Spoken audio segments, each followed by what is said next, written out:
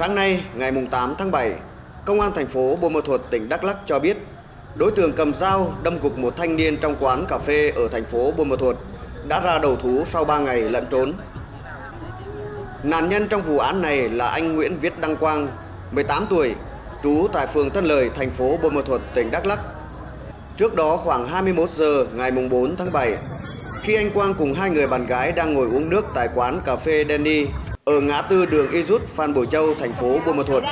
thì bị một đối tượng đến gây chuyện, xô sát rồi cầm dao đâm hai nhát vào bụng và sườn trái, khiến nạn nhân gục ngay tại chỗ. Tối hôm đó là em với anh với Quang à, cùng uống tại quán cà phê Denny ngay đường Phật Châu với Yút. À, ờ, uống được lúc 9 giờ là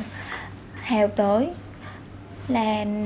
gọi Quang ra nói chuyện. Nói chuyện xong là hai người xô sát xong Hào rút dao ra. Dạ xong rồi em với anh ra can á thì lúc đó là lúc cái lúc đó là Hào rút dao ra. Sẽ yêu mặt kêu là uh, mày lại đây là tao đâm mày luôn. Thì uh, sau khi xác định là cái vụ việc đây hết sức nghiêm trọng thì uh, công an thành phố đã triển khai cái lực lượng xuống hiện trường nắm bắt tình hình. Thì uh, sau khi xác định được cái à, đối tượng gây án là Thiên Hào trú tại à,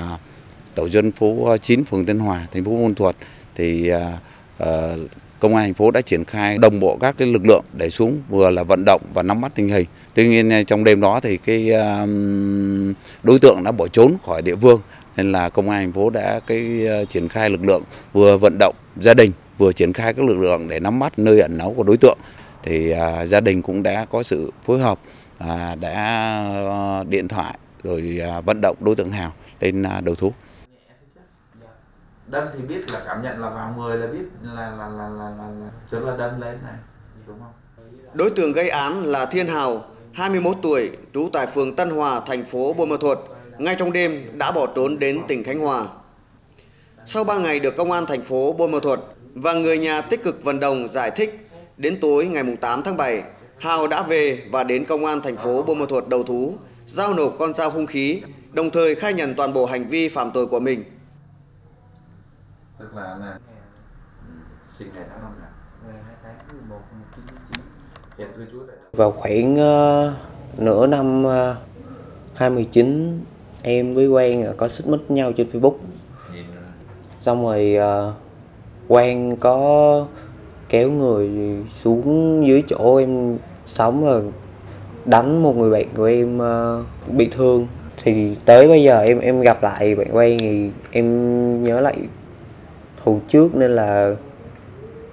em muốn đang uống cà phê đó thì em mới chạy qua chỗ bạn quen ngồi em gặp bạn quen thì em uh, mới hỏi quen là mày nhớ tao không? Quen kêu là nhớ rồi, rồi sao rồi? Lúc đó em xuống xe hai bên xô xát với nhau rồi em có đâm Quang nữa Ngay trong đêm, công an thành phố Buôn Ma Thuột đã dẫn giải đối tượng Hào đến hiện trường để thực nghiệm điều tra, miêu tả lại diễn biến của quá trình gây án. Hiện nạn nhân là anh Quang đang được điều trị tích cực tại bệnh viện đa khoa vùng Tây Nguyên với hai vết đâm vào vùng bụng và màn sườn trái gây lùng phổi.